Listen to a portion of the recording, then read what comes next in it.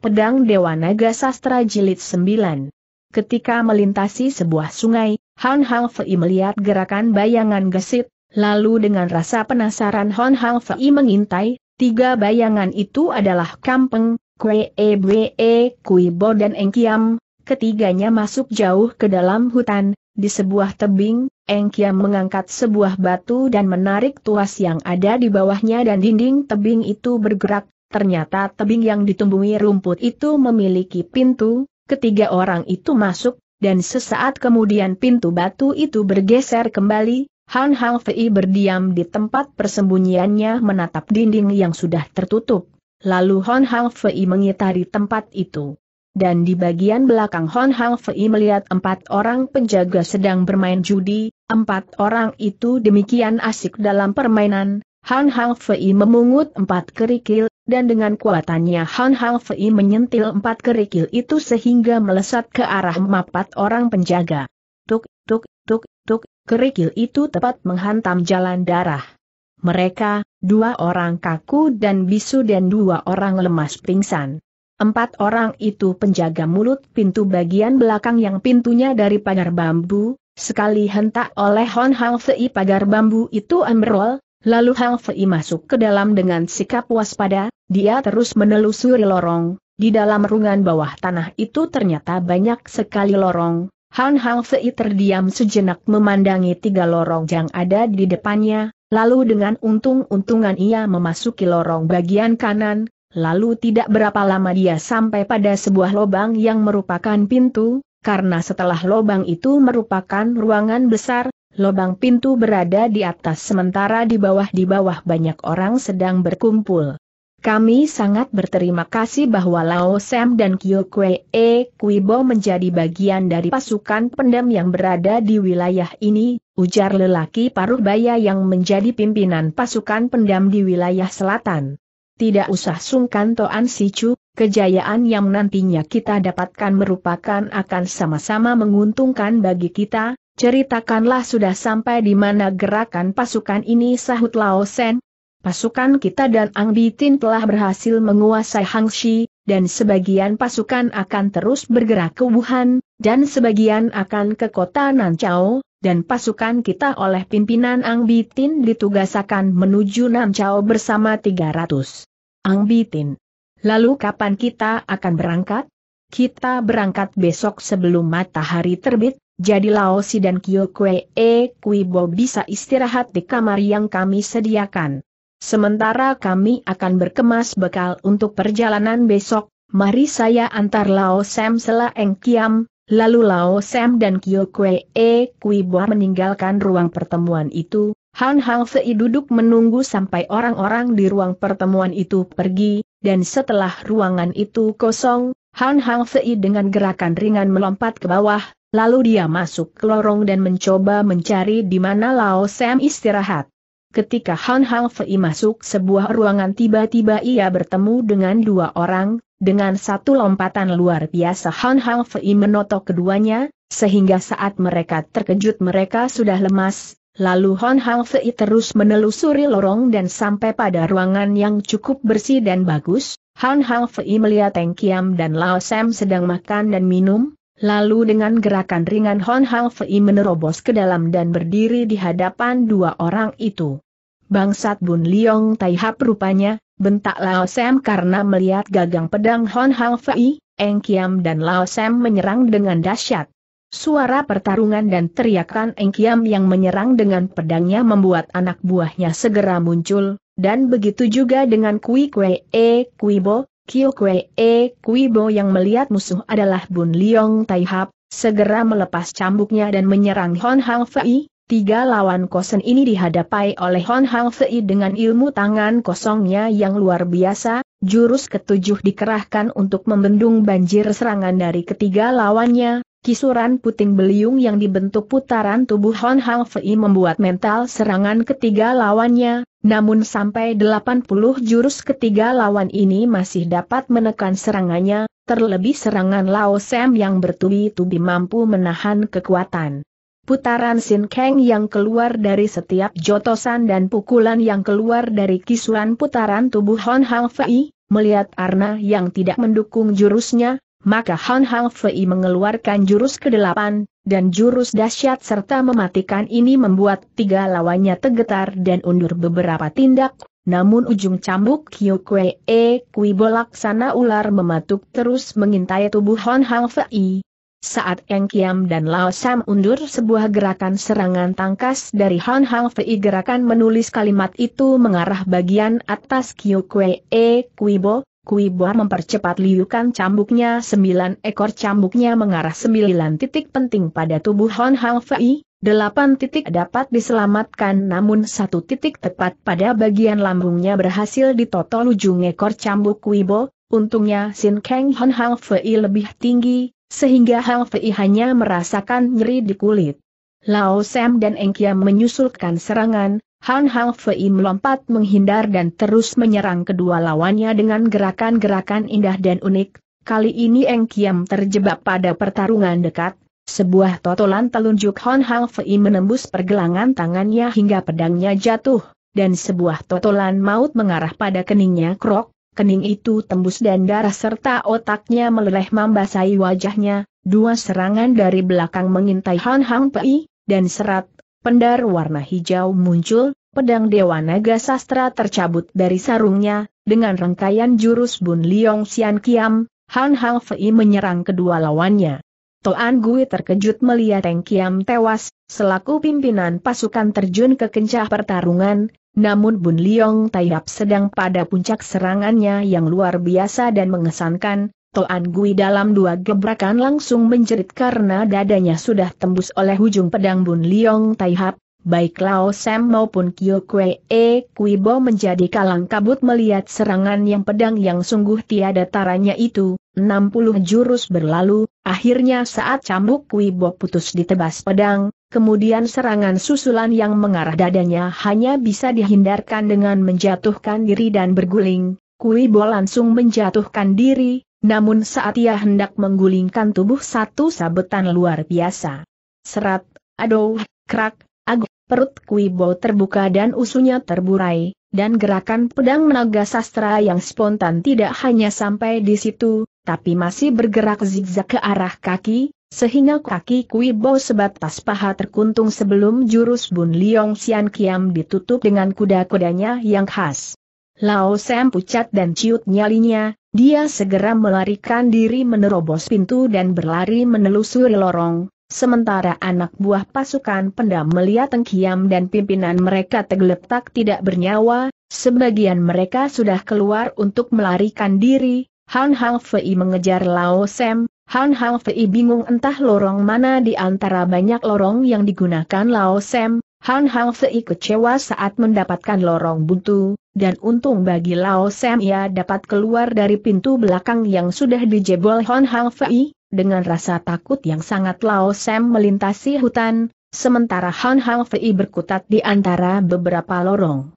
Saat Hon Hang Fei kembali ke ruangan seorang lelaki yang bersembunyi di balik batu ditangkap Hon Hang Fei. Cepat kamu tunjukkan jalan keluar bentak Hon Hang Fei, dengan tubuh gemetar anak buah Toan Gui membawa Hon Hang Fei keluar melalui pintu depan, setelah sampai di luar ke sebelah mana kota Nam Chao tanda tanya-tanya Hon Hang Fei, lelaki itu menunjuk arah selatan, lalu Hon Hang Fei berkebuat ke arah selatan, dan dua minggu kemudian Hon Hang Fei sampai di kota Nanchao, dan di kota ini ia mendapatkan jejak Lao Sam menuju Huang San, tanpa menunda-nunda Hon Hang Fei melanjutkan pengejaran. Setelah sampai di Huang San Hon Hang Fei mencari penginapan untuk bermalam, selama dua hari Hon Hang Fei berada di Huang San, dan ia tidak mendapatkan berita keberadaan Lao Sam di penginapan yang ia tempati, dan ia juga telah mencoba melihat tempat-tempat hiburan dan perjudian, tidak ada bayangan Lao Sem, lalu Hon Hang Fei berencana meninggalkan Huang San menuju Hopi, saat ia melewati gerbang barat, seorang pengemis tua dengan muka babak belur merintih kesakitan. Kamu kenapa lokai, mukamu babak belur kenapa tanya Hon Hang Fei?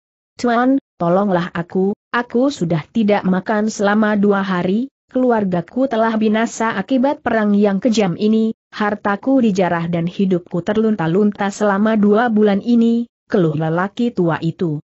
Baiklah paman, marilah kita ke kedai itu, dan saya akan mentraktir paman makan sekenyang-kenyangnya, sahut Hon Hang Fei. Terima kasih tuan, semoga kebaikan tuan dibalas oleh Tian, ujar pengemis tua itu, lalu mereka pun masuk sebuah kedai makan, pengemis itu pun makan dengan lahap di hadapan Hon Hang Fei, mukanya yang memar bengkak nampak mengharukan. Paman, kenapa dengan mukamu? Ah aku tadi memang sial, di rumah yang pojok itu aku mengemis makanan, tapi yang kuterima adalah tamparan dari dua orang penjaga. Itu rumah siapa paman tanya Han Hang Fei. Saya tidak tahu tuan, saya bukan penduduk sini, saya dari kota Hofei, kota itu jadi bulan-bulanan pasukan pemerintah maupun pasukan Ang Bitin yang tipu daya. Eh apa maksud paman pasukan Ang yang tipu daya mereka menamakan perang ini untuk perbaikan hidup rakyat dari penguasa korup, namun care-care mereka memperlakukan penduduk yang katanya mereka perjuangkan diperlakukan dengan sewenang-wenang. Jadi paman mengungsi ke sini? Benar tuan, dan aku sudah satu bulan di sini hidup dari belas kasihan orang, sahut pengemis tua itu, Han Hang Fei merasa kasihan, lalu ia menatap rumah yang ditunjuk oleh pengemis itu. HMH, pelayan, desa Hon Hang Fei sambil memanggil pelayan, pelayan datang mendekat. Iya Kongcu ada apa tanya pelayan. Berapa harga makanan paman ini tanya Han Hang Fei, pelayan menghitung sejenak. Dua tel Kongcu sahut pelayan, Han Hang Fei memberi dua tel pelayan rumah itu rumah siapa tanya Han Hang Fei sambil menunjuk rumah di pojok. Rumah yang besar dan berpagar tembok itu tanya pelayan memastikan. Benar rumah yang berpagar tembok.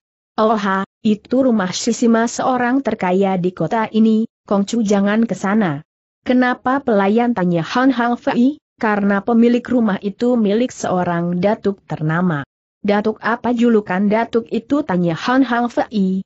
Pemilik rumah itu dikenal dengan julukan Bek MOUHKWI di rimba persilatan. Jawab pelayan. Oh ternyata dia di sini tinggal gumam Hon Hang Fei. Baiklah pelayan dan terima kasih, ujar Hon Hang Fei. Pelayan itu mengangguk dan pergi, pengemis tua yang sedang makan menatap Hon Hang Fei dengan heran. Chuan kenapa menanyakan penghuni rumah itu? Tidak ada apa-apa paman, dan ini sepuluh tel untuk paman, semoga dapat membantu paman beberapa hari, ujar Han Hang Fei, Uang yang curi tiga tahun lalu, sekarang hanya tinggal dua cel lemas dan dua puluh cel tembaga.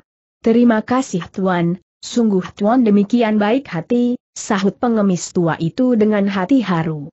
Sudahlah Paman, sekarang aku akan pergi dan jagalah diri Paman sahut Han Hang Fei, pengemis itu mengangguk penuh rasa terima kasih. Han Hang Fei melompat dari pagar belakang rumah Pek dengan gerakan yang ringan ia mengendap-endap ke sebuah bangunan, dari pendengaran yang tajam ia mengetahui ada tiga orang di dalam bangunan itu, sewaktu ia melintasi sebuah pavilion ia melihat seorang wanita sedang menyuapi anak umur satu tahun, dengan mengendap-endap Han Hang Fei mendekati bangunan di depan pavilion, dengan gerakan yang ringan Hon Hang Fei bergantung seperti kelelawar, dia mengintai tiga orang yang sedang duduk dan bercakap-cakap, Han Hang Fei merasa gembira karena buruannya ada di sini.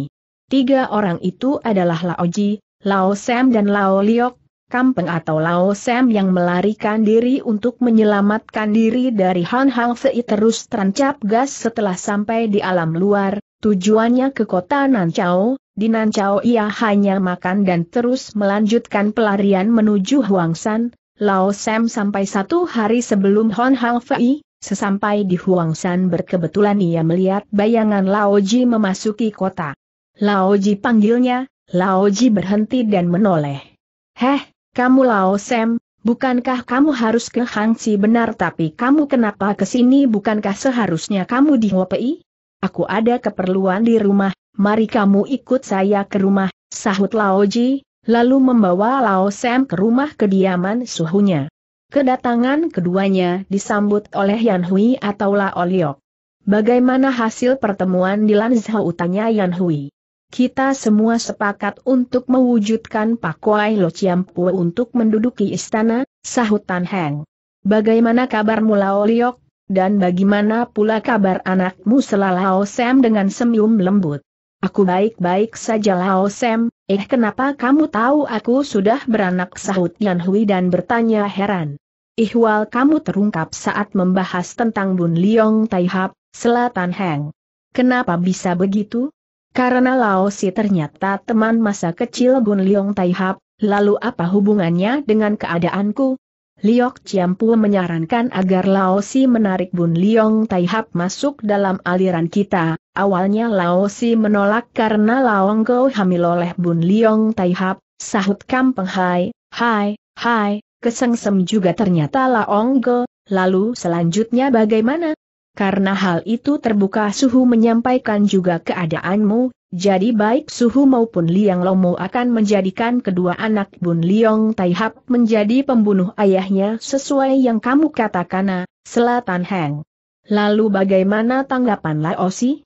Pak Kuai Lo juga ikut membujuk supaya rencana penarikan Bun Liong dilaksanakan, terlebih lagi ternyata Lao Pet adalah adik dari Laosi, akhirnya Laosi menyetujui sahutan Heng.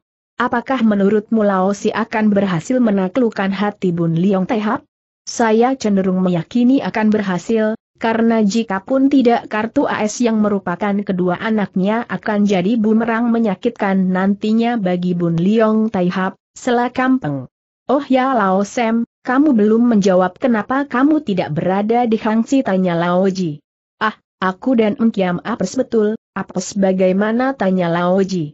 Kami baru sampai ke markas pasukan Pak Kuaelo bertemu dengan Yaoyan Taihap, si pendekar binal. Siapa Yaoyan Taihap tanya Lao Liok heran. Hehehe, hehehe, siapa lagi kalau bukan ayah anakmu itu Lao Liok, sahut Tan Heng. Kenapa kalian sebut dia pendekar binal hehehe, hehehe, karena suhu dan liang lomo ciampu menjulukinya begitu, sahut Tan Heng. Lalu bagaimana Lao Sem tanya Yan Hui. Kami mengeroyoknya, tapi dia sangat luar biasa, Eng Kiam, dan Kiu Bwe Kui Bo tewas di tangannya, bahkan Toan Gui pimpinan pasukan pendam juga mati, saya ini sedang melarikan diri dari kejarannya, sahut Kampeng. Memang si Yaoyan ini luar biasa, Lao Si dan Lao Gergo juga melarikan diri darinya, Lam Sin Pek Ciampu saja dapat dikalahkannya, Selatan Heng. Apa Lem Sin Pek kalah darinya seru Yan Hui merasa tidak percaya. Benar, makanya Liok Ciampu mengharap Laosi berhasil dalam misinya.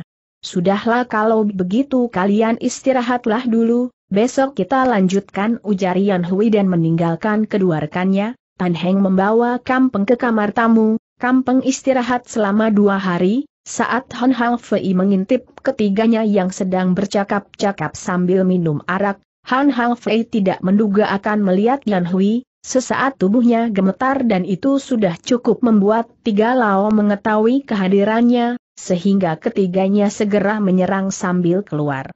Han Hang Fei berjumpalitan saat sebuah serangan Sin Kang mengarah padanya, pintu itu ambrol dan Hon Hang Fei berdiri tenang menyambut tiga Lao yang marah. Hehehe, hehehe, ternyata Lao Sam bersembunyi di sini, ujar Han Hang Fei dengan nada sinis.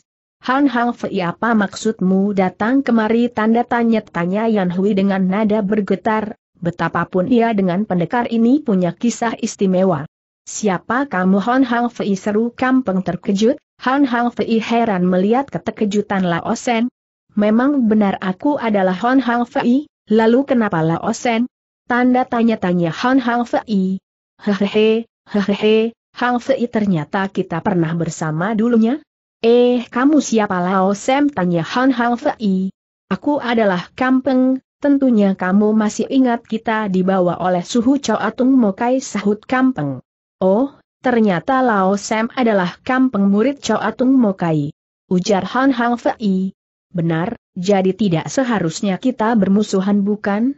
Aku tidak memusuhi kalian kalau kalian tidak usil pada saya, yang dimulai oleh si Lao Liok yang penuh tipu daya, hai, hai, hai, Hanko hal-hal yang sudah berlalu sebaiknya kita lupakan, selayan Hui. Apa yang kamu lakukan pada saya, mungkin masih saya maafkan, tapi ada dua Lao yang harus saya temukan, sahut Hon Hang Fei. Apakah maksudmu Lao si Selalaoji? Benar, eh kenapa kamu tahu? Tanya Han Hang Fei heran karena ia bercerita bahwa ia lari darimu, dan tentunya kamu kejar sebagaimana sekarang engkau mengejar saya selala osen. Apakah kamu hendak membunuhnya juga? Apa yang dilakukannya padamu, Han Ko Selayan Hui? Ah, tentu tidak, aku tidak akan membunuhnya, dan dia tidak ada salah padaku, dan yang hendak harus merasakan hajaranku adalah Laong Go sahut Hon Hang Fei geram mengingat betapa ia terluka dua pukulan Laong Go karena terjerat tipu daya. Oh ha, maksudmu yang lian, lupakanlah itu Hang Fei, sebaiknya kita berteman sebagaimana dulu, sela kampeng. Kita tidak berteman kampeng, Malahan dulu kamu dan si Gan Kui mengolok-olok saya dan menjadikan saya jadi sasaran pukulan kalian, sahut Hon Hang Fei dengan sorot mata, tajam itu hanya masa di mana kita masih anak-anak, sahut Kampeng. Baik kali ini akan kulupakan semua hal yang dilakukan Lao, tapi katakanlah padaku di mana aku bisa menemui Lao si ujar Hon Hang Fei. Boleh aku tahu Hon Ko kenapa engak kau ingin menemui Lao si? Tanda tanya. Tidak, ini urusan pribadi saya, Ak Ahut Hon Hang Fei tegas, sudah kalau begitu, apakah Lao Ji dan Lao Sem tahu ke mana Lao Si ujar Yan Hui baiklah Hang Fei karena kita adalah teman, maka saya kasih tahu, bahwa Lao Si berada di Lanzhou, tapi saya yakin dia menuju ke Chang'an lalu kemudian akan ke Chongqing, ujar Kampeng. Benar apa yang dikatakan oleh Kampeng, karena itu daerah misi perjalannya dalam kesepakatan yang ditetapkan Liok Chiampul. Baik, terima kasih Kampeng atas informasinya, dan kamu Yan Hui bagaimana kabarmu? Hai, hai, ternyata aku demikian kamu perhatikan Honko. Ah, aku juga hanya ingin menawarkan suasana tegang pada pertemuan ini, sahut Hon Hang Fei. Memang pertemuan ini juga menegangkan bagiku, apalagi kamu datang-datang untuk mengejar Lao Sem, bagaimana kalau kamu masuk dan minum-minum bersama kami ujar Yan Hui. Benar Hang Fei, sebagai bukti bahwa kita telah melupakan kejadian kecil di antara kita, aku ingin mengajakmu bersulang arak, sela kampung dengan senyum. Baik kalau begitu, sahut Hang Fei, Lalu mereka pun masuk dan suasana pertemuan itu berubah jadi ceria, tiga Lao sangat mengerti bahwa menghadapi Bun Liong Taiyap sebagai musuh, mereka akan kalah, terlebih Lao Ji dan Lao Sam mendengar sendiri bahwa menurut perhitungan Lam Sin Pek, dua dari datuk baru imbang dengan kesaktian pemuda di depan mereka ini, jadi setidaknya tiga datuk baru bisa mengalahkan pemuda ini, sementara mereka hanya tiga Lao, jelas mereka akan binasa, kalau terjadi pertempuran. Setelah minum-minum Hon Hang Fei berniat untuk segera pergi aku hendak pergi dan terima kasih semuanya, ujar Hon Hang Fei.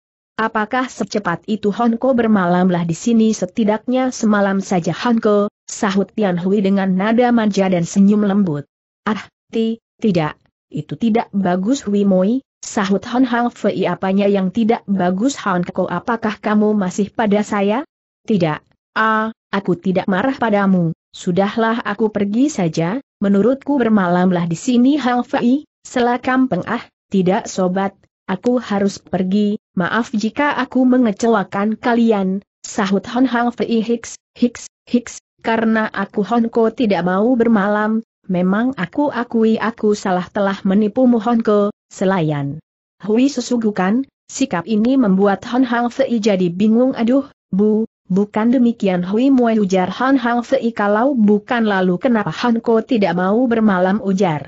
Yan Hui merajuk, Han Hang Fei makin serba salah melihat Yan Hui menangis.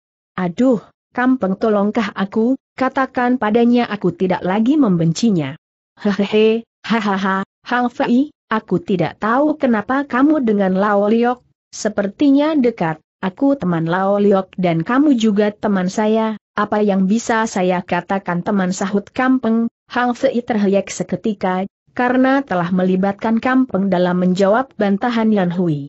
Baiklah kalau begitu Hui Moi, aku akan berangkat esok pagi, ujar Han Hang Fei. Hai, hai, Terima kasih Honko, hatiku lega dan sekarang aku mau pergi mandi, sahut Tian Hui dengan nada manja, Han Hang Fei menatap Lao Ji dan Lao Sem, dan ia menunduk dengan muka merah karena jengah. Malam itu mereka makan bersama suhu kalian ke mana? Lao Ji tanya Han Hang Fei. Suhu sedang berada di utara untuk sebuah urusan, jawab Tan Heng. Saya tidak menyangka bahwa kamu menjadi orang luar biasa sakti Hang Fei, sela kampeng. Ah, kamu terlalu memuji kampeng, sahut Hon Hang Fei saya dengar pedangmu itu jadi rebutan dulunya di kalangan dunia persilatan, selatan Hang. Sepertinya memang demikian, tapi sudahlah kita membicarakan hal lain saja, sahut. Han Hang Fei mencoba menyetop pembicaraan yang mengarah pada dirinya. Lalu mereka pun membicarakan hal-hal lain, tentang perang yang sedang berkecamuk hingga larut malam, Han Hang Fei tidur di kamar tamu bersama Kampeng, malam itu Han Hang Fei tidak bisa tidur, pikirannya sudah melanglang ke Chang'an atau ke Chongqing, di mana ia nantinya akan bisa menemui Wan Lin. Han Hang Fei keluar kamar dan pergi ke taman di sebelah pavilion. Kamu di sini Hui Moi, kenapa kamu tidak tidur? Aku tidak bisa tidur Hanko, malam ini terasa geras sekali, lalu Hanko kenapa tidak bisa tidur sahut Yan Hui dan bertanya dengan senyum lembut memikat, Han Hang Fei. Aku hanya tidak sabar untuk berangkat ke Chang'an Hui Moi apakah Lao Si yang membuatmu seperti ini? Ah, tidak. Ah, aku hanya penasaran tentang siapa dirinya apa yang ingin kamu ketahui tentang dirinya? Ah, tidak apa-apa sudahlah, Aku akan kembali ke dalam, sahut Hon Hang Fei sambil berbalik. Tunggu dulu Hon Ko seru Yan Hui sambil menekap pergelangan tangan Hon Hang Fei. Yan Hui, jangan lagi membuat kesalahan tegur Hon Hang Fei karena merasakan gelagat yang tidak baik. Han Ko jangan sergah aku, aku ini hanya wanita yang tidak bisa melupakan dirimu, sahut Yan Hui menunduk dan mulai sesugukan, Han Hang Fei jadi kelabakan. Hui Moi, sudah kukatakan kan padamu aku tidak mencintaimu, sahut Hon Hang Fei. Aku tahu, tapi dapatkah aku merasakan kembali apa yang kurasakan dulu ketika bersamamu? Hus, jangan begitu Hui Moi, nanti kamu akan sengsara sendiri, dan untung saat itu tidak mengakibatkan dirimu hamil. Yang katamu akan membuat malu, sahut Hang Fei, Walal dia tidak tahu bahwa Yan Hui telah melahirkan anaknya dan anaknya sudah ia lihat saat seorang pelayan memberi makan seorang anak di pavilion yang sekarang mereka tempati. Hanko, aku tidak tahan lagi, aku menerima desakan birahimu cukuplah bagiku. Apa maksudmu Wimoy? Kamu tentu merasakan gejolak yang mesti kamu tuntaskan ketika melihat tubuhku, bukan? Apakah itu nama ya birahi tanya Han Hang Fei polos benar Han Ke, kamu tuntaskan itu, sahut Tian Hui sambil memeluk dan mencium Han Hang Fei. Ja, jangan Hui Moi, ah, aku merasa malu jika diketahui suhengmu dan kampeng. Mereka tidak akan tahu, Han Ke, sahut Tian Hui, lalu kembali mencecar lumatan-lumatan di bibir Han Hang Fei. Han Hang Fei yang lemah dan lugu terbakar birahi, saat dia memberikan balasan pada lumatan itu, ia pun jadi aktif mendominasi perhelatan birah itu, di lantai pavilion, disaksikan bulan sepotong hubungan sanggama penuh ledakan birahi itu berlangsung sampai jauh larut malam, setelah selesai Han Hang Fei merasa malu, dia malu kalau Kampeng atau Tan Heng tahu. Dia segera bangkit dan buru-buru memakai pakaiannya kembali, lalu meninggalkan Yan Hui. Tan Heng dan Kampeng tidur dengan pulas, namun ketidakpedulian mereka pada kejadian itu bukan tidak ada maksud, semua kejadian malam itu merupakan rentetan jebakan, Tan Heng dan Kampeng adalah orang-orang yang cerdik, keluguan dan kepolosan adalah merupakan kelemahan Bun Liong Taihap, dan kelemahan ini akan mereka manfaatkan pada setiap peluang, usaha terselubung ini akan berakhir pada kebinasaan Hon Hang Fei jika saatnya tiba. Han Hang Fei tidak menyadari hidupnya kini dalam intayan permainan halus para datuk dan lao, Han Hang Fei telah mengambil pemahaman salah akan arti hubungan pria dan wanita, pemahaman suka sama suka telah menjadikan ia budak nafsunya, ia telah kalah mutlak pada godaan wanita, gagal total memahami petuah Lam Sian. Keesokan harinya Han Hang Fei meninggalkan kota Hwangsan, perjalanannya terasa ringan, hatinya senang menuju kota Chang'an atau mungkin ke Chongqing, wajah Lao Si menjadi hiasan dalam benaknya dalam perjalanan panjang yang akan ia tempuh, bayangan bertemu dengan Lao Si memotivasi gerak langkah perjalanan Bun Liong Taihap, karena Ho Pei menjadi wilayah konflik perang dahsyat, Han Hang mengambil jalan tikus melintas lembah dan gunung menuju Nanjing, dari Nanjing dia melintas lagi sehingga sampai ke kota Kaifeng. Dari kota Kaifeng dia menuju Chang'an, sesampai di Chang'an, kondisi perang semakin menghebat, pasukan Ang Bintin banyak memenangkan pertempuran di berbagai kota, pasukan itu laksana semut beriring menuju kota raja, Keadaan yang genting itu membuat Han Hang Fei menyimpulkan bahwa Lao Si tidak akan bertahan di kota yang sedang dalam bahaya, lalu ia melanjutkan perjalanan menuju Chongqing. Seminggu kemudian Han Hang Fei di sebuah hutan mencium bau aging bakar yang lezat, lalu dia melangkah kaki mendekati aroma yang menerbitkan rasa laparnya. Siapa itu teriak suara memergokinya, kedua mata bertaut, yang memergokinya ternyata Wan Lin, Wan Lin kontan berlari, hatinya masih ragu karena walaupun ia yakin bahwa pemuda di hadapannya adalah Hon Hang Fei, tapi pertemuan pertama mereka sangat tidak bagus, mereka berhadapan sebagai musuh. Dengan satu loncatan gesit, Wan Lin melompat ke arah lembah hutan dan berlari sekuat-kuatnya. Wan Lin seru Hon Hang Fei sambil mengejar Wan Lin, kejar-kejaran pun terjadi di keremangan senja itu, Untung bagi Wan Lin malam mulai menyelimuti, Wan Lin cepat sembunyi di balik sebuah batu, teriakan Hon Hang Fei yang memanggil namanya membuat hatinya bergetar, rindunya menggelora, rasa sayangnya muncul, Han Hang Fei melintas di tempat ia sembunyi, dan terus meneriakan namanya, dan kemudian bayangan Hon Hang Fei muncul lagi dan duduk sekitar tiga tombak dari tempat ia sembunyi. Wan Lin dengan menahan nafas mengintai bayangan Hon Hang Fei yang diselimuti kegelapan, dan hati Wan Lin berdebar Hon Hang Fei berdiri sambil berteriak. Lin Moi kenapa engkau lari? Aku bukan musuhmu Lin Moi, aku Hang Fei ingin bertemu denganmu, Lin Moi aku rindu padamu teriak Hang Fei lalu duduk lemas, teriakan yang penuh dengan hati pilu itu, membuat Wan Lin terisak di balik batu, Han Hang Fei otomatis mendengar isakan itu, Lalu Hon Hang Fei bergerak gesit melompat ke arah suara isakan, dan Wan Lin yang merasa kepergok langsung melompat, namun buk, auh, kedua bayangan itu bertubrukan di udara, keduanya jatuh bergulingan. Lin Mo apakah kamu itu? Lin Mo ujar Han Hang Fei dengan nada lirih dan meraba-raba muka Wan Lin, hatinya sesak. Karena dalam pelukannya ini adalah wanita yang dikejarnya, benarkah ini Wan Lin pikirnya? Cih, Lepaskan aku bangsat bentak Wan Lin, Han Hang Fei segera melepaskan pelukannya. Plak, muka Han Hang Fei ditampar Wan Lin Lin Moi benarkan kamu Lin Moi. Aku tidak kenal Lin Moi teriak Wan Lin. Lin Moi apakah kamu Wan Lin putri dari paman Wan Keng tanya Han Hang Fei, Wan Lin terdiam, hatinya bergetar diingatkan pada ayahnya. Kamu siapa sebenarnya tanya Wan Lin dengan nada bergetar, walaupun ia sudah yakin, namun ia harus pastikan A, aku Hon Hang Fei Wan Lin, jawab Hon Hang Fei. Han Ke, Han Ke, benarkah jerit Wan Lin dengan bibir bergetar? Benar Lin Boy, A, aku Hon Ke, sahut Hon Hang Fei. Oh, Han Ke kamu ke mana sajakah tanya Wan Lin, hatinya membuncah dengan tangis yang pecah. Wan Lin mendekat dan memeluk Hon Hang Fei, Han Hang Fei juga balas memeluk Wan Lin Lin Mue syukurlah kamu ternyata masih hidup, Gao Hujan tewas sementara engkau dan Peng Te hilang. Saya di bawah suhu Lem Sin Peng dan sejak itu aku hidup di bawah asuhannya. Lalu Peng Ji ke mana? Saat itu aku tidak tahu, karena aku pingsan, lalu selanjutnya bagaimana?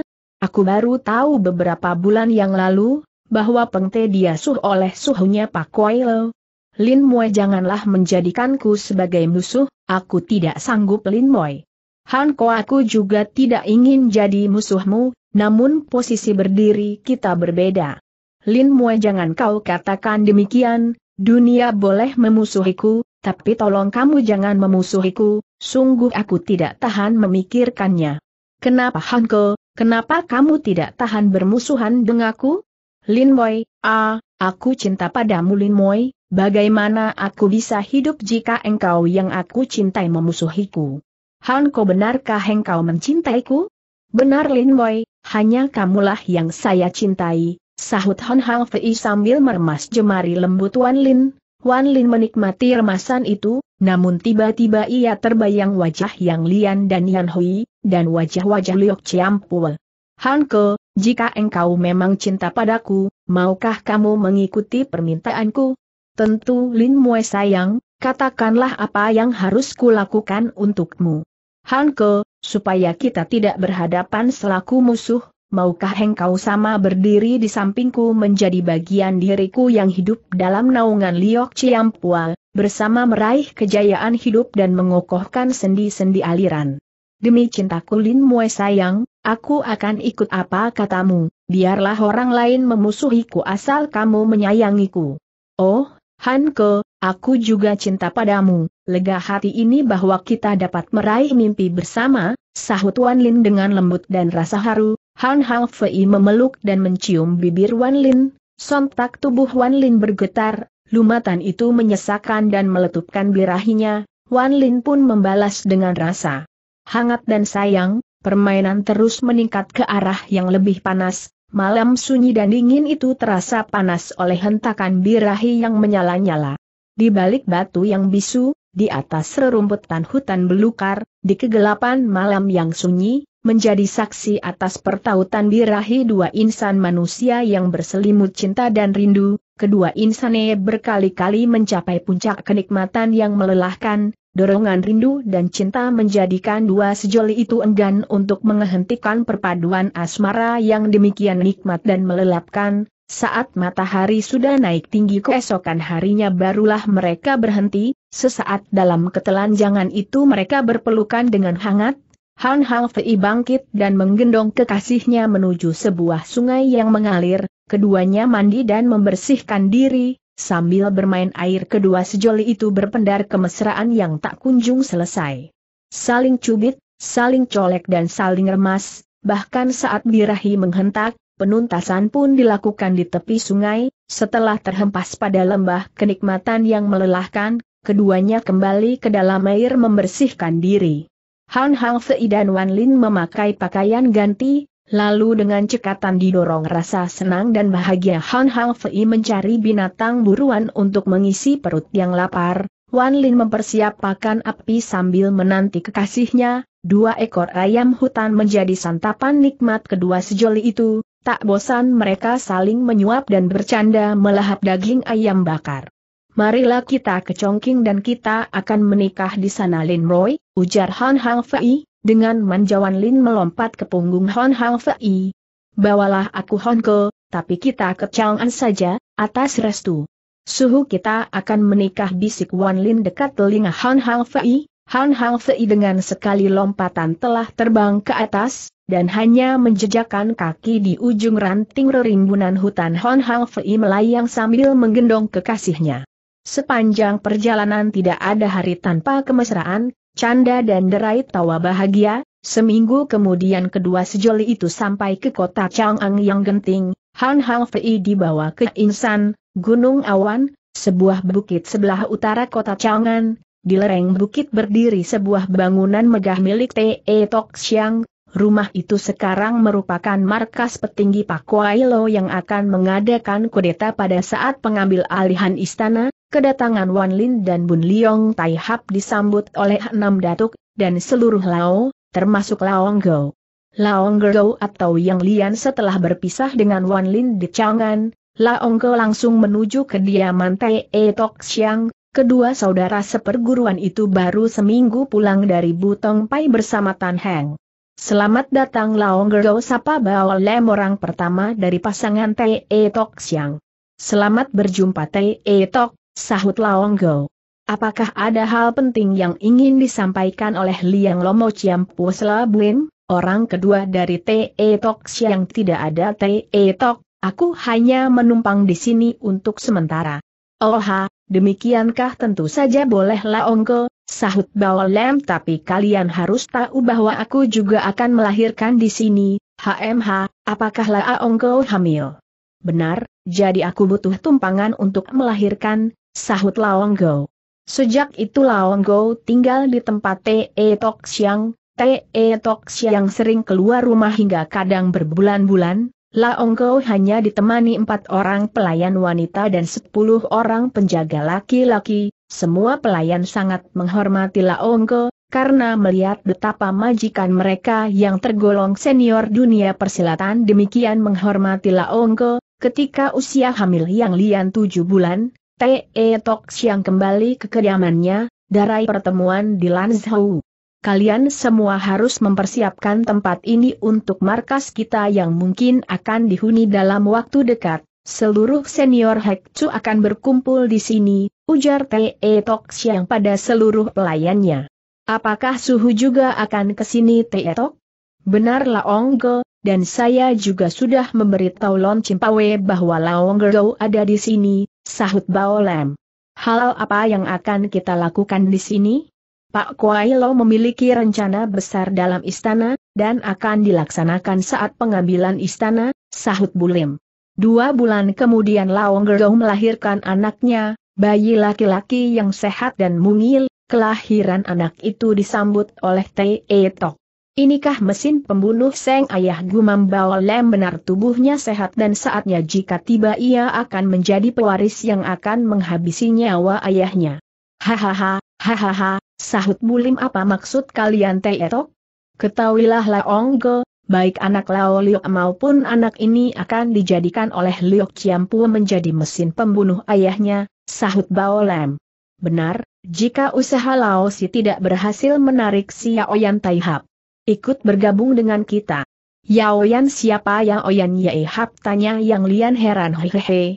Ciampu yang Lomor menggelar ayah anak ini Yaoyan Taihap. Hai, Hai, suhu ada-ada saja, sahut Yang Lian tertawa. Maksudnya Laosi berhasil menarik Xiaoyan, sebenarnya apa dan kenapa Laosi diberi tugas seperti itu? Karena Laosi adalah teman masa kecil Xiaoyan, jadi dengan memanfaatkan kedekatan masa kecil, diharap Laosi berhasil dalam misinya. Artinya Xiaoyan akan menjadi suami Laosi? Benar Laong Ge, jika sudah menjadi suami tentunya si Yaoyan akan ikut mendukung istrinya. Aku sudah menduga ada demikian, dan saya yakin bahwa Lao Si akan berhasil, karena si Yaoyan memang menunjukkan gejala seperti itu saat di kota Chongqing, gumam yang lian. Siapakah nama anak ini Laong Gerdo? Apakah Laong Gerdo sudah mempunyai nama untuknya? Namanya Han Oke Liang, sahut yang lian. HMH, Nama yang sangar dan mengerikan, hahaha, hahaha, ujar Buin, lalu mereka meninggalkan Laonggo dengan putranya.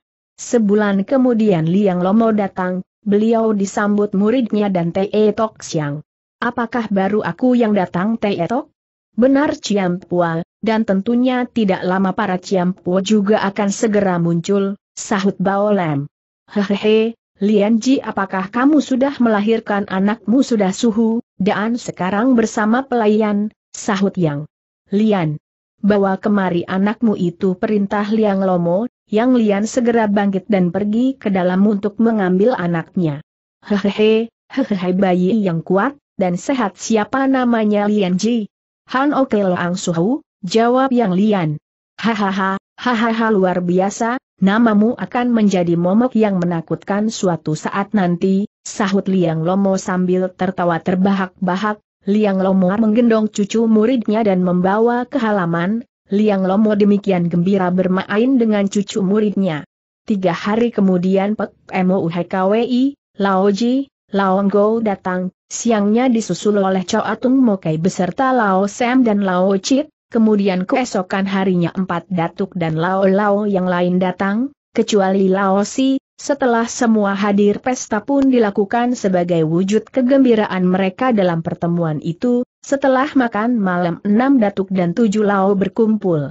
Ada satu hal yang ingin saya sampaikan pada kalian semua, ujar Liang Lomo. Apa hal itu? Liang Lomo tanya si Hui Kui sehubungan dengan Xiao Yan, sahut Liang Lomo apa maksudnya Liang Lomo?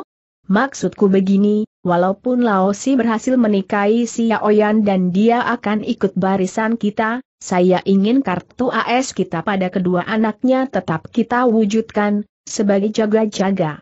Hal itu saya setuju selapek MOUHKWI. Baiklah kita setuju, lalu apa rencanamu Liang Lomo tanya Pak Koilo? Saya minta cucu murid saya dan cucu murid Pek MOUHKWI mewarisi masing-masing tiga dari kita. Hehehe, hehehe, ide yang jitu, saya setuju, sebutkan nama cucumu itu Liang Lomo Sela Sihwi Kuwi. Nama cucu muridku Oke Liang, sahut Liang Lomo. Lalu nama cucu muridmu Pek Emo utanya Chow Atung Mokai namanya KWI Ong, jawab Pek Emo KWI. Hahaha, hahaha, nama-nama yang luar biasa, memang akan dijadikan mesin waktu yang jika meledak tentu sangat luar biasa, selapa Kuailo. Baik saya akan mewarisi Oke Liang, sela Chow Atung Mokai saya mewarisi KWI Ong, selapa Kuailo, lalu datuk yang lain pun memberikan pernyataan, sehingga Han KWI Ong mewarisi Pek MOUH KWI, Pak Kuailo dan Si Hui Kui, sementara Han Oke Liang mewarisi Liang Lomo, Cho Atung Mokai dan Lam Sin Pek. Saya juga dalam pertemuan ini ingin menyampaikan sesuatu pada kalian, ujar Pak Kuailo. Hal apa lagi Pak Kuailo tanya Si Hui Kui. Ketika saya berada di Lokyang, anak buah saya Pak Hang KWI dan Cho Ahui memberikan laporan bahwa di Kaifeng ada Jiang Zhou yang merupakan barisan pendekar, yang mana misi mereka adalah mengawal perjuangan. Memang mereka juga bagian dari perjuangan ini Pak Kuai Lo, sela Cho Atung Mokai. Benar Cho Atung Mokai, tapi mereka itu adalah duri dalam daging misi kita, karena jelas barisan itu akan mendukung sepenuhnya Liu Xuan. Jadi artinya tantangan kita yang sebenarnya adalah Jiang Zhou. Selapek MOUHKWI. Benar Pek MO, jadi kita harus mewaspadai Jiang Zhou. Lalu apa rencanamu Pak Kuai Lo tanya Lem Sinpek. Aku sudah menugaskan Matu-Matu untuk menyelidik gerakan mereka, semoga saja dalam waktu dekat kita akan mengetahui kekuatan mereka, sehingga kita dapat menyusun rencana selanjutnya, sahut Pak Kuai Lo. Kalau begitu kita tunggu saja hasil penyelidikan anak buahmu Pak Kuai Lo, sahut Lem Sinpek, semuanya mengangguk menyetujui.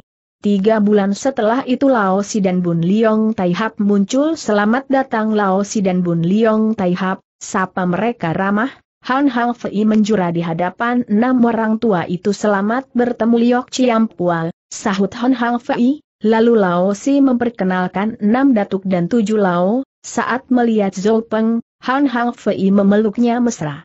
Man Peng syukurlah ternyata kita masih dapat berkumpul, ujar Han Hang Fei. Benar Han Pako, kedatanganmu hari ini merupakan kebahagiaan bagiku, dan tentunya bagi semua kita yang hadir di sini. Feiji, kami baru tahu bahwa kamu adalah bagian dari Linji dan Pengji, kamu datang bersama Linji tentu sudah mempunyai rencana bukan ujar Lem Sinpek. Benar Ciampua, saya dan Lin Boy, ingin agar kami dinikahkan, sahut Hon Hang Fei.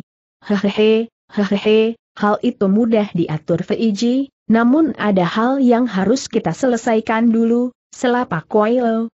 Hal apakah itu Ciampu tanya Han Hang Fei? Aku tidak tahu apakah Anda akan mau mengerjakannya jangan sungkan Ciampua, katakanlah hal apakah yang mesti saya kerjakan? Baiklah, dengarlah Lausi, ada sebuah gerakan yang amat potensial yang akan menghalangi misi kita. Gerakan apakah itu Ciampu tanya Laosi. Di kota Kaifeng ada gerakan yang menamakan dirinya Jiang Zhou yang terdiri dari kalangan Builin, jika keberadaan mereka eksis maka misi kita akan mendapat tantangan berat, sahut Pak Koilo. Jadi maksud Ciampu saya dan Honko akan ke sana untuk menghabisi mereka? Benar Laosi, bagaimana menurutmu apakah Bun Liong Taihap akan sudi membantu kita? Tentunya Honko akan membantu kita Ciampua, Bukankah begitu Hon Ko sahut Laosi dan bertanya pada Han Hang Fei? Benar Ciampua, kami sudah seia sekata dengan Lin Boy, jadi kalau tugas itu dibebankan padanya tentunya aku juga akan ikut mendukungnya, selah Hon Hang Fei hahaha, hehehe, bagus Bun Liong Taihap, bantuan dan dukunganmu sungguh amat berarti, jadi lusa kalian berangkatlah ke Kaifeng, setelah tugas di sana selesai maka niat kalian yang suci itu akan kita resmikan, bukankah demikian para datuk ujar Pak Kuai Benar sekali Pak Kuai saya sebenarnya sangat ingin supaya murid saya segera bersanding dengan pilihan hatinya, namun karena tugas ini amat penting maka saya akan bersabar menantikan hari bahagia itu, selalem simple, semua datuk mengangguk, dengan raut wajah sedikit disedihkan, luar biasa memang para datuk ini, Roman serigala berbulu dombanya demikian kentalnya, sehingga Han Hang Fei yang memang polos benar-benar tidak menyadari bahwa ia berada di sarang musang berbulu domba, tidak akan ada seorang pun yang berbelas kasihan padanya, semuanya siap menggerogotinya tanpa sedikit pun perasaan. Keesokan harinya Han Hang Fei berjalan-jalan di lembah bersama Wan Lin. Liok Chiampu nampak sangat akur sekali Lin Boy, ujar Han Hang Fei. Benar Han Ke, dan itu sudah berlangsung lama sejak mereka masih muda, rasa persaudaraan mereka sangat kuat, dan oleh karena itu pantaslah mereka mempunyai jaringan yang kuat, dan kalian juga lau-lau mewarisi watak mereka. Ya, kami juga diajarkan akan arti perdikat yang disematkan pada kami, kata Lau itulah yang membuat kami satu, HMH, masa depan Lau tentunya akan menggantikan enam datuk, dan kedengarannya sangat semarak. Hai, hai, tapi aku hanya bangga padamu Honko, karena tidak dipungkiri bahwa kamu lebih hebat dari kami, saya punya bayangan di masa depan, bahwa kamulah yang nantinya memimpin kami, ujar Wan Lin dengan senyum lembut dan manja. Hehehe, hehehe, bukankah itu terlalu muluk Lin Moi? Tentu tidak Honko sayang, bagaimana dikatakan muluk, jika memang kenyataannya kamu adalah bagian dari kami dan tidak ada yang menafikan bahwa kamu adalah orang terhebat di insan ini, betapa bangga dan bahagianya aku Honko, jika saatnya posisi itu engkau pangku dan aku di sampingmu, sahut Wan Lin penuh rasa senang. Jika hal itu membahagiakanmu sayang, kita akan wujudkan, ujar Han Hang Fei, Wan Lin dengan senyum lembut memeluk kekasihnya, kecupan-kecupan mesra bertautan dengan canda gairah muda dua sejoli, di tepi sebuah sungai keduanya mandi bersama, keduanya melewati hari itu dengan madu asmara yang memabukan, setelah puas mereka kembali menjelang sore, dan mereka disambut untuk makan malam, bagi Laongko dan Lao Liu kemesraan yang berlaku di depan mereka tidak membuat mereka risih dan terganggu, ini semua karena ikatan di antara mereka yang kuat, misi mereka lebih utama dari perasaan mereka. Malam itu suasana di Insan sangat sepi, Han Hang Fei tidur di kamar tamu bersama La Opet, banyak cerita tentang masa kecil yang diceritakan di depan Zhou Peng hingga latut malam Honko, aku sudah mengantuk sekali, aku duluan tidur ya ujar Zhou Peng.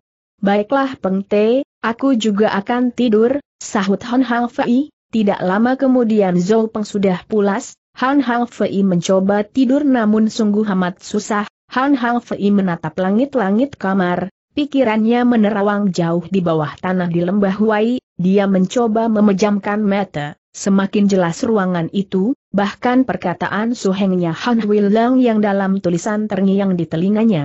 Kuburkanlah tulangku dan resapilah semua ajaran Suhau, semoga Tian memberkatimu.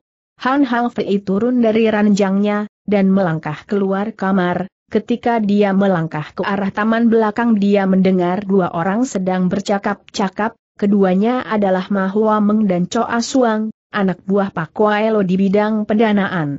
Yang jelas misi akan terwujud tanpa halangan, Ang Bitin ada dalam genggaman Ciampua, dan barisan pendekar di Jiangzhou akan habis ditumpas Bun Liong Tai Hap dan Lao Si ujar Choa Song taktik Liok Ciampu dan para Lao memang amat luar biasa, dengan memanfaatkan perasaan cinta Bun Liong Tai Hap mereka akan terus memperalat pendekar itu bisik Choa Song.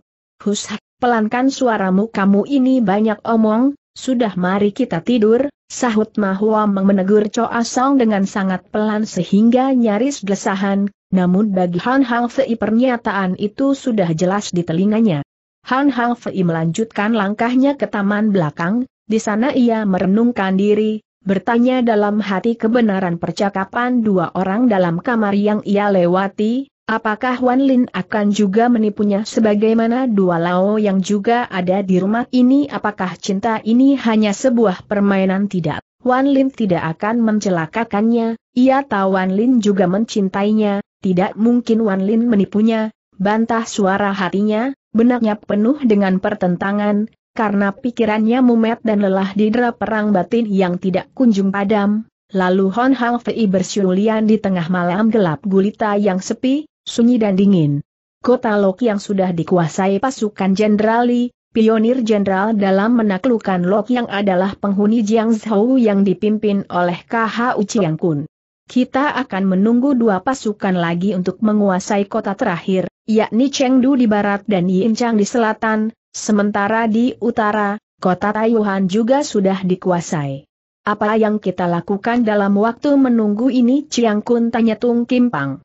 Kita tetap waspada dan pimpinan pasukan tetap dalam poskonya untuk menjaga setiap kemungkinan yang tidak kita inginkan, dan kepada Lu Taihap harap membawa 10 tentara kembali ke Kaifeng untuk mengambil persediaan ransum kita, kita tidak akan membebankan resam kepada penduduk yang sudah menderita dan didera ketakutan ujar KH Uciang Kun.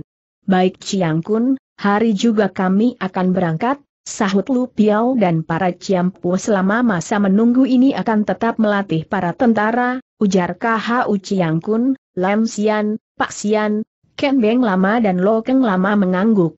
Tiga hari setelah penaklukan kota Lokyang, Han Hang Fei dan Wan Lin memasuki kota, mereka bersama Kim Leong dan Kim Tiao, dua orang staf tinggi dalam Mang Bitin, Tentara yang menjaga gerbang kota langsung mengenal mereka karena alis mereka yang bercat merah, lalu mereka menjura memberi hormat. Kami ingin bertemu dengan KH Uciang Kun, ujar Kim Leong baik, mari saya akan mengantar Tuan Tuan, sahut pimpinan pos penjaga, lalu pimpinan pos jaga membawa merek menemui KH Uciang Kun. Selamat datang Kim Leong dan Kim Tiao, sapa KH Uciang Kun ramah. Selamat bertemu KH Uciang Kun. Hal apakah yang menyebabkan kedatangan Cuan-Cuan kami bertugas menyiapkan jaringan pendam di dalam kota Changan, sehingga jika saatnya tiba maka pasukan istana akan tersudut. Wah, satu strategi yang jitu dan baik Kim Leong, lalu apakah kekuatan di sini dibutuhkan untuk membentuk jaringan tersebut? Tanda tanya. Tidak lagi Chiang Kun, karena barisan kita sudah menempati empat titik di dalam kota RJA, dan kami ke sini hanya ingin melihat keadaan di sini. Terima kasih Kim Leong dan Kim Tiao, sahut KH Uciang Kun. Oh, ya ini adalah Bun Leong Taihap dan Wan Lin, mereka adalah pimpinan salah satu titik jaringan pendam dalam kota raja, ujar Kim Tiao. Selamat datang Taihap dan lihat, maaf jika kami terlambat menyapa, dan sungguh aku merasa senang, bahwa Bun Liong Tai Hap yang namanya dalam tiga tahun terakhir ini amat menggemparkan dunia persilatan. Terima kasih Chiang Kun, Chiang Kun terlalu memuji, sahut Bun Liong Tai Hap. Malam itu KH Uciang Kun mengadakan pertemuan menyambut empat rekan seperjuangan itu. Ciampu dan Sicu sekalian, kita sangat berbahagia bahwa kita dikunjungi oleh dua orang senior Ang Bitin Yan Kni Kim Tiao dan Kim Leong, kemudian kita juga dikunjungi oleh pendekar yang membuat kita takjub akhir-akhir ini yakni Bun Leong Taihap, semua pendekar menjura memberi hormat. Hahaha, hahaha selamat bertemu kembali Han Taihap Sapa Lem Sian. Selamat berjumpa Lem Sian Ciampua, pertemuan ini sungguh menggembirakan hati kami, sahut Bun Liong Taihap. Bun Liong Taihap dan Wan Lihap adalah pimpinan jaringan pendam di kota raja, ujar KH Uciang Kun. Terima kasih pada KH Uciang Kun yang telah menyambut kami dengan hangat, karena ini masa menunggu para rekan kita dari selatan dan barat, jadi kami menyempatkan diri untuk melihat situasi di sini dan setidaknya kami akan kembali dalam tiga hari. Ini, ujar Kim Tiao, Jamuan itu berlangsung dengan meriah, lalu empat tamu itu ditempatkan di satu rumah bekas pejabat yang melarikan diri, di halaman ditempatkan beberapa orang penjaga. Kim Tiao mengetuk pintu kamar Laosi, Laosi membuka pintu kamar. Ada apa Kim Tiao tanya Laosi dengan berbisik. Ajak Bun Liong Taihap, kita adakan pertemuan di kamar saya, sahut Kim Tiao, Laosi mengangguk sambil menutup pintu kamarnya, dan segera menuju kamar Han Hang Fei. Han Ko tanda tanya panggil Wan Lin, daun pintu terbuka. Ada apa Lin Moi tanya Han Hang Fei, Wan Lin menerobos masuk, pakailah bajumu, kita ada hal penting mau dibicarakan Gemgan Kim Tiao, ujar Wan Lin, Han Hang Fei segera memakai bajunya dan keduanya segera keluar kamar. Lao Si dan Bun Liong Taihap, setelah saya hitung, semua pendekar ada sekitar 200 orang, dan yang yang menjadi incaran kita hanya ada 8 orang, yakni Lem Sian, Pak Sian, Seng Twi Sien Kun, Suat Kok Tiao, Hwi Chiang, Suat Kiam Taihap, Hoasan Taihap, Butong Pepeng. Lalu apa rencananya Kim Tiao tanya Wan Lin. Kita punya tiga hari untuk membunuh mereka berdelapan, sahut Kim Tiao, mendengar itu Hon Hang Fei menelan ludahnya karena tiba-tiba ia merasa tenggorokannya kering, hatinya berkecamuk. Tunggu dulu, aku merasa sedikit pusing, kalian bisa melanjutkan, nanti bagaimana hasilnya biar Lin Mo yang menyampaikan pada saya, selahon Hang Fei. Kamu baik-baik saja kan Hon Ko tanya Wan Lin cemas. Aku baik-baik saja Lin Moy, maaf aku ke kamarku dulu, ujar Han Hang Fei, setelah Han Hang Fei pergi, ketiganya terdiam. Lao siapa menurutmu kekasihmu itu akan mau melakukannya? Tanda tanya-tanya Kim Leong. Aku akan bujuk dia, lanjutkanlah sahut Wan Lin. Baik, karena mereka berdelapan, kita harus masing-masing menaklukkan dua orang dalam satu malam saat kita bersaksi, demikian tugas berhasil kita akan langsung pergi dari sini, ujar Kim Tiao. Siapa membunuh siapa menurutmu Kim Tiao? Tanya Wan Lin Lem Xian dan Pak Xian ditangani oleh Bun Liong Taihap, Suat Kok Tiao dan Hwi Chiang Lao Si sendiri yang tangani, Seng Twi Sien Kun dan Suat Kiam Tai Hap saya yang akan menangani, lalu Hoasan Tai Hap dan Butong Pek Peng akan ditangani Kim Leong, sahut Kim Tiao. Kapan rencana itu kita jalankan? Kita lakukan saat malam ketiga, dan dua hari ini kita akan membaca situasi masing-masing sasaran kita. Benar kalau memungkin kita ajak masing-masing sasaran kita ke tempat tertentu, selakim Leong. Hah, itu ide bagus, jadi kita laksanakan rencana kita sejak esok lusa sampai malamnya, sahut Kim Tiao. Baiklah kalau begitu, hanya saya sedikit ragu dengan Bun Liong Taihap, selakim Liong. Lao si rencana kita ini tidak boleh bocor, dan tolong supaya Bun Liong Taihap dipastikan kesediaannya, ujar Kim Tiao. Baik, saya akan menemui Hanko, sahut Wan Lin sambil bangkit dari duduknya, lalu keluar kamar Kim Tiao dan menemui Han Hang Fei. Han Hang Fei setelah sampai di kamar ia duduk di ranjang dengan pikiran kalut, apa yang telah ia lakukan jerit hatinya, haruskah ia membunuh orang-orang yang tidak bersalah ini? Haruskah ia mengikuti kemauan Wan Lin yang dicintainya? Han Hang Fei kalut dan bingung, perang batinnya berkecamuk luar biasa, bukankah ia telah menjanjikan dukungan, ini semua hanya demi cintanya pada Wan Lin, haruskah ia mengecewakannya? Pikiran Mumet membuat Hon Hang Fei makin pening, satu sisi batinnya meneriakan cinta mendalam, satu sisi hatinya menantang. Han Ko bagaimana dengan kepalamu apakah masih pusing? Tanda tanya-tanya Wan Lin tiba-tiba masuk ke dalam kamarnya, melihat kelembutan wajah kekasihnya yang mendekat, ia lalu merentangkan tangan minta dipeluk, Wan Lin memeluk hangat Hon Hang Fei. Kamu kenapa sayang, apa yang kamu pikirkan tanya Wan Lin sambil mengecup kening kekasihnya. Lin Mue sayang, haruskah kita membunuh orang? Han Ko sayang, misi ini sangat penting bagiku dan aliran kita, ini semua untuk kita bertiga, saya, kamu dan Peng Te, haruskah kita berhenti menurutmu? Ta, tapi hatiku merasa berat Lin Moy.